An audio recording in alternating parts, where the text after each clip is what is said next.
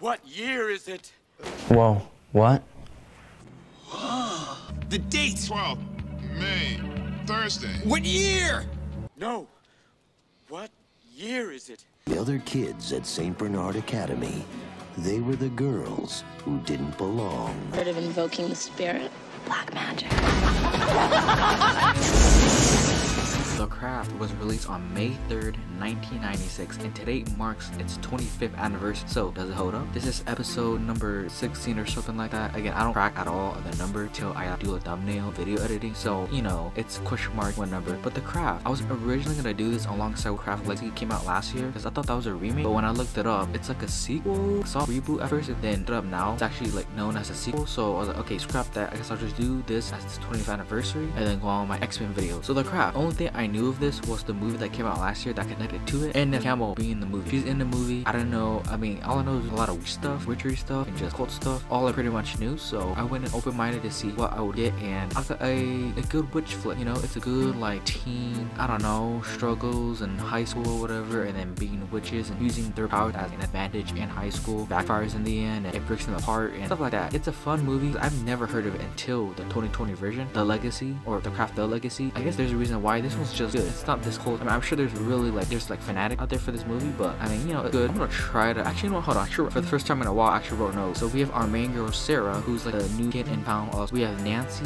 Neve Campbell, and then Rochelle or Rachel, the black girl. Those are the four main girls, the four main characters, and their issues around high school and boys, bullies, and other girls. So I want to speak on each character before they get their powers, or not get their powers, but before they like use their powers for you know advantages. So we have Sarah, our main girl, like the new girl, who's moving in, doesn't know anybody. She tries to connect people, but they just kind of blow her off. Our other girls, who are known as witches in the school, when she's like talking to like the nice boy or nice guy. Apparently, those two are known as witches based on their looks or, or all the activity that they are doing. I don't know, but they don't seem normal to the rest of the kids. So you know, she gets to know girls and whatnot. They go out and do cult stuff, do spell work, and she learns to you know take a liking to them until it backfires. So that's Sarah. And then Neve Campbell, her sort of issue is that she has like the skin disease or like skin issue. I thought it was a needle poking into her and they knew it couldn't poke, but it's not, or is it? I don't know. There's like this scene of like, like a needle or some like something pointy on the back of her skin. She was crying, it hurts, and she doesn't like it. She feels that because of this, she doesn't get acknowledged enough at school. Till she does, gets to thank off. She does get acknowledged by you know boys at school and whatnot. Specifically these two boys, which by the way, they're one piece of work. These two boys that like you know hazing other kids in the school, hilarious. But it's like man, get rid of these boys, kill these boys please with their witchery stuff. And then Rochelle, am I saying that? I feel I'm saying that wrong. If I'm saying that wrong, completely apologize for that. But her issue is that the one girl's bullying her at a water polo like training. Training. Why did I say training? At practice. She like yells at her, not yells at her, but she like always hazes her diving into the pool for like the perfect dive until she uses her witchery spell to get rid of her. Okay, maybe not get rid of her, but mess with her. So that's kind of her issue. And then Nancy, she's the girl that has the family issue. Her family, both her parents are kind of crackhead. She lives in a trailer. She hates it there. Her father's at one point even trying to check her out and sexual assault her. Dysfunctional family that doesn't seem to cure for her. And she's only in this situation because of her parents. She can get out of, but also can't because she has to live with them because she is parent. But you know that's a bad situation. All of that comes to a head the four girls are like, "Hey, we're witches. We can make a spell in the middle of the woods." I think. I think yeah. They, they go on a bus and they go to the middle of the woods and start doing witcher stuff. Ask her spell. And so for Sarah, she gets the one nice boy. She uses that spell to give her, make him love her. So his whole attention all on her. The very first scene, medley, is him in, in class. He just he just turns back and looks at her like a lot, and the teacher has to keep telling her to stop. It was okay. Sign of the spell work. Cool. Works for Neve Campbell. Her skin is off. Apparently, her mother when she takes her to the doctor, the skin just comes right off. Magically, like oh, it works. Then for Rochelle or, or Rachel or Rochelle, she makes a girl that she's getting bullied by lose her hair, and it's pretty like scary, but also like revenge and payback. But then it's like oh man, it's gonna semi ruin her life, but it's gonna ruin her life now. But ultimately in the future, it's not gonna mean much. It may hard for life, but she'll be fine, right? She'll be fine in the future. And then probably like the worst one, but also I guess best version of the spell is for Nancy. Apparently, in order for her spell to work, so everyone's spell starts working, and she kind of like, man, fuck this spell. Shit ain't working. Kind of feel bad for her, but it worked just kind of later for some reason, and it's only prolonged. Her father died. Her like wish was that she doesn't want to be like right track. In order for that to happen, her father died, and then they get like money. They get like a shit ton of money. I forgot the exact number. I think it's a million, but it's enough for them to go live in an apartment and not in a trailer no more. Her and her mother are very happy. There's a scene of them laughing and being very excited by the fact that their father, maybe not their father dying, but they have the money because of their father's death. The person giving them this money or talking to them should have been freaked the hell out.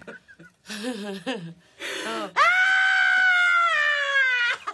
All of their spells work until it backfires. Now, one thing I will say that does age well are the core characters. I think all these four girls, they work well, they gel well, they have a good chemistry, chemistry with each other. It just seems like they're having fun. There's effects in this movie, but it's not big and grand. It's that that are used well, that ages well. It works today, 2021. Now, it's not like an immediate notice backfire. It's slowly building up, which I do like. Like the boyfriend being too clingy and showing up to Sarah's house in the middle of the night. That's the first backfire. The girl losing her hair was funny at first, so she eventually grows like to being bald. Black girl feels bad for it, but not Nancy or because she just loses her skin. Like she gets boys, some of the boys that like her, kind of harmful in a way. But Nancy, she feels no remorse. Leading up to this beach scene where she like something happened around a fire, the whole ritual stuff, and then all the sharks are at the bay, all dead, and Nancy's like laughing about it. She feels powerful, while the rest of the girls are kind of like hesitant, and being like crazy as hell. And this is kind of the start of me sort of liking Nancy, her like craziness, evil of the witches, and this actress, she plays evil well. She has the big crazy eye. It's just great. So then we get to the whole like crosses the line point where the nice guy, the nice boy is too clingy too Sarah, tries to sexual assault and he does, but she gets away from it. Rochelle feels bad for her bully, even though she deserves it. Even though she wanted to just mess with her, all they wanted was to mess with people that ruined their lives. But then in doing so, they're kind of ruining their lives as well, kind of killing them, and they don't want that at all. Nancy, on the other hand, the next thing, the next overboard, is that she kills a boy out of the of this large window and hits his head on a cement or something, and she kills a person. So technically, this is the second person. She kills her father, and she feels no remorse because they think they deserved it. She feels very powerful. She liked her that she has. Obviously, not a good thing. So this is like the whole splitting apart thing. Kind of a big thing for Sarah because all she wanted to do is make new friends in this new town and new school. But in doing so, the first people that she meets and makes friends with kind of turn their back on her, and so she has to fight by herself. Neve Campbell and Rochelle join now. Then later on, they're like, you know what, we're off. And then both Sarah and Nancy, they have like cool and decent rituals